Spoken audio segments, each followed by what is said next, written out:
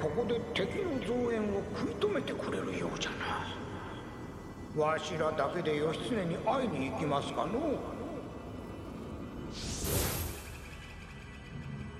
弁慶ほどの強力であればあの大湯にも使えそうじゃな。矢も余っておるし渡してはどうかの。い